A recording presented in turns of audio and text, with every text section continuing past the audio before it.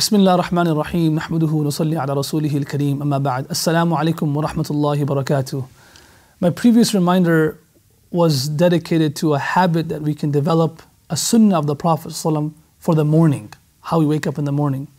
Today's reminder is dedicated to a habit that we can develop, a sunnah that the Prophet ﷺ had that can turn into a habit for the rest of our lives in the afternoon time, something in the afternoon. So our morning, our afternoon, and then inshallah there will be another reminder for the evening before sleeping. So something that the Prophet ﷺ did on a regular basis in the afternoon. Subhanallah, if we read the life of the Prophet ﷺ, his whole day is crystal crystal clear. Like we know from the morning till the evening what he did, what are what his habits were. There was nothing coincidental. His his life was so methodical. He had to give time to everybody, and no one ever felt rushed.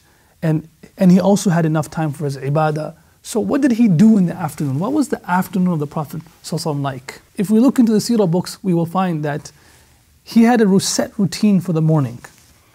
Sit in the masjid, listen to the Sahaba stories, give them some nasiha, go to the marketplace, visit the sick, and like this, he spent his morning. Now, when afternoon came around, his afternoon was dedicated for his loved ones, his family members. Dedicated. He would walk home, and this was his winding down period. Like all that in the morning, oh Prophet of Allah, I need this and I need that, and I had this problem.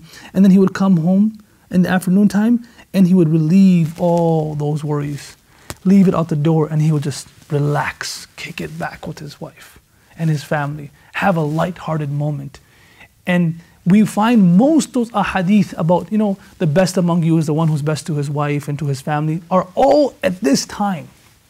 Those light-hearted moments with Aisha anha talking about the Prophet and his wives was in the afternoon time. It was the afternoon time where he would wind down with his family and just talk to them and relax.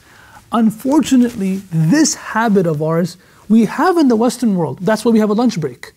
A lunch break is to keep, get our head off of everything. But how do we use our lunch break or how do we use that afternoon period to wind off and just get our mind off all that stress of work and meetings and this and that and to, to get to the next part of our day, which we all hate and we can't wait till we get home, right? What most of us spend our time, you know, maybe on our Facebook or on our phones or just looking at some sports and you know doing something different. We, this is the time we get our lunch break and we get our mind off of our work. Let's follow the sunnah of the Prophet that's missing. Right when our lunch break hits, pick up our phone Call our wife. We can't go home because you know probably not get back in time. Call our wife. Say I miss you. I love you. I'll see you soon. Call our children. Call her if we're, if we're not married. And if we don't have children, yeah, don't call her. call your mother. Call your mother. Call your father. Get your mind off of things. Tell them how your day was going. That's what the Prophet was talking about in his house. My day was like this. My day. Just tell them how your day is going, and you will re- you will notice in your life that just talking to these people, the elders, you, know, you might be stressed out. Your colleague might have told, said something. Your boss might have stressed you out. Just speaking to them, you'll blow off a lot of steam. And you're following a sunnah, so you're getting, you're getting reward for it. So this is a habit that we can start developing in the afternoon time. Of course, a habit was also qaylula, taking a nap. But taking a nap, we can't really do that. It's not practical for most of us who are working in the Western world or even throughout the world. But this habit, let's not forget it.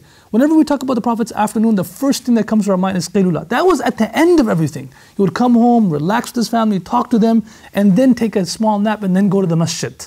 Right? That's what he would do. You know the hadith of the Prophet Aisha says when he would come home, he was what he was participate in the housework and spend time with us. And then when the muaddin would call adhan, he would go to the masjid. This is about dhuhr salah.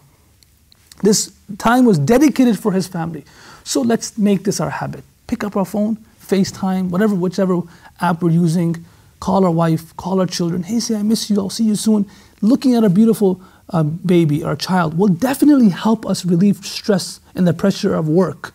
Calling our old mother and saying, Mom, make dua for me. I have a meeting in the afternoon. Letting her know, checking in on her, checking in on her. How are you doing? How's your health?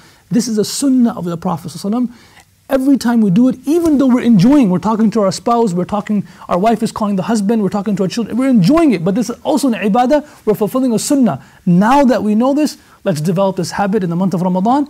And uh, right now, most of us in quarantine, but inshallah, after the month of Ramadan, when we get back to work, let's develop this habit.